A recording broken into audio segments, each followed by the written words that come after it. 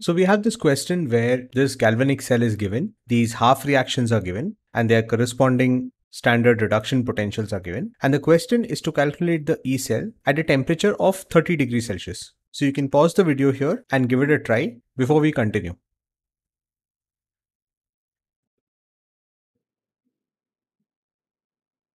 So the first thing to notice is that this temperature here is not the standard temperature that we use to calculate the E naught, which is 25 degrees Celsius. So to calculate the cell potential at a temperature different from the standard temperature, we use the Nernst equation, which is written like this, where E naught cell is the standard cell potential, R is the universal gas constant, T is the temperature in Kelvin, NF is the charge transferred, and Q is the reaction quotient. So to calculate the cell potential at 30 degrees Celsius, first we need to calculate the standard cell potential. So we know that the standard cell potential is given as the E naught of cathode minus the E naught of anode which we know from here because this galvanic cell is written in alphabetical order. So we know that this is the anode, this is the bridge and this is the cathode. So the standard potential of the cathode, which is given here, is this positive 0.8 volt minus the standard potential of the anode, which is negative 1.66 volts. So if we solve this, we get the standard cell potential to be equal to 2.46 volts. So we know this value.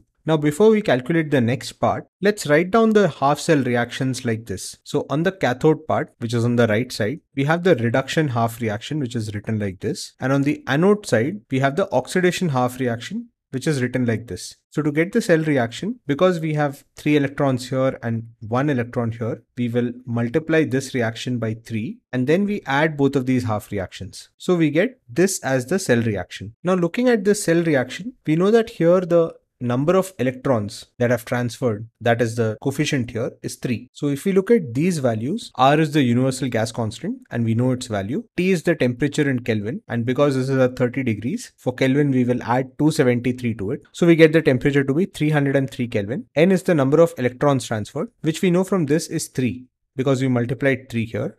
And F is the Faraday constant and its value is given here. So now we know the values of R, T, N and F. So all that's left is to get the value of this Q. So this Q is the reaction quotient and we're going to get this from our cell reaction. So to get this Q, we're going to use our cell reaction and for this reaction, we can write the reaction quotient like this, which is the concentration of the Al3 plus ion, which is on the product side, divided by the concentration of this Ag plus ion raised to the power 3, which is the coefficient here. And here, the concentration of the other species, like this silver or this aluminium, will be equal to 1. Because in case of a pure solid or a pure liquid, we take their activities or concentrations to be 1. Because in case of pure solids and pure liquids, the molar concentration is proportional to density and the density for them does not change in the reaction. And since the concentration for both of these is 1, I've not written them down here. And for these two, the values are already given here. So if we substitute these values, we get the reaction quotient to be 0.15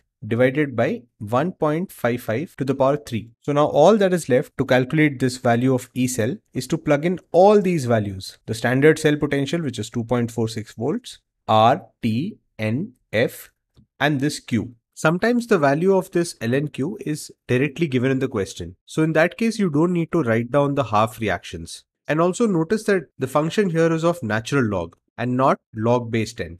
And if you plug in everything into a calculator, and if you haven't made any mistakes in calculation, you'll get the final answer of the cell potential to be 2.49 volts.